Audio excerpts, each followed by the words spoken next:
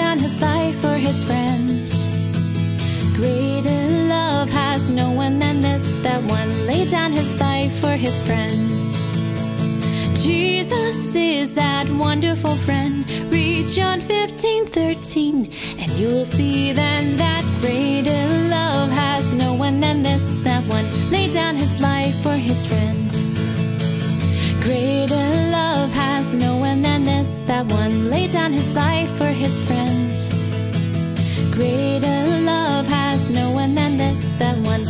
down his life for his friends.